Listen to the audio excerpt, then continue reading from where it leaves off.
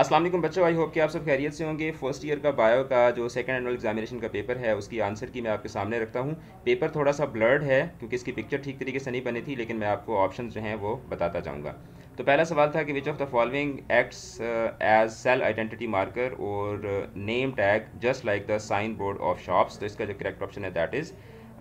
Glycolipids उसके बाद question number two जो है, इसमें एक आपको इक्वेशन दी हुई थी this molecule is an example of इसका करेक्ट ऑप्शन है एस्टर उसके बाद क्वेश्चन नंबर थ्री जो है that is the human liver cells are specialise for the they have abundant number of that is uh, uh, you know uh, ये ग्लैक्स glyoxysome glyoxysome उसके बाद which of the following ratio is incorrect explanation of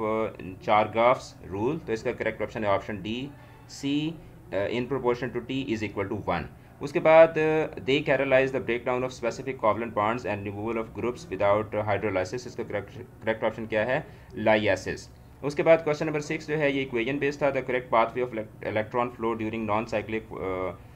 photo phosphorylation is इसका correct option है option A P Q फिर उसके बाद cytochrome complex P C P S one उसके बाद which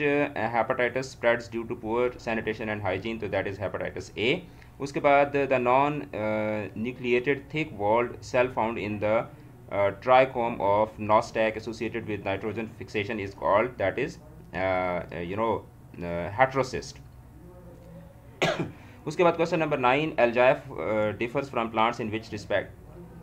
तो इसका करेक्ट ऑप्शन है कि algae have unicellular sex organ but zygote is well protected तो उसके बाद क्वेश्चन नंबर टेन जो है यहाँ पे ये थोड़े से ब्लड हैं। The property of dicot plants in the following is that is cyclic and corolla of a flower उसके बाद नेक्स्ट uh, जो है the lesometry organ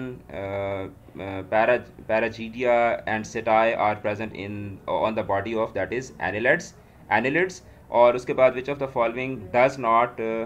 pertain to deuterostomes तो इसका करेक्ट ऑप्शन है, है जनाब रेडियल क्लेवेज उसके बाद what happens to a cell when it is placed in a ये हाइपो हाइपोटॉनिक सोल्यूशन तो इसका करेक्ट ऑप्शन है कि सेल्स जो हैं दे गेट टर्जिड उसके बाद all of the followings are secondary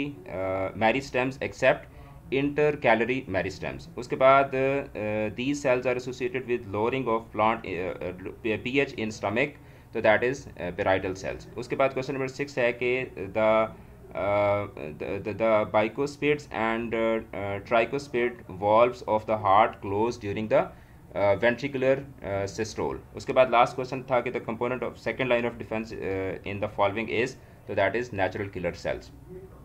तो आपका पेपर कैसा हुआ ये मुझे ज़रूर बताइएगा। चैनल को सब्सक्राइब कीजिएगा और अपना रखिएगा। बहुत बहुत ज़्यादा ख्याल। ये आपका सब्जेक्टिव पेपर था। आई होप कि आपका ये भी अच्छा हुआ होगा। ऑल द बेस्ट खुदा हाफिज़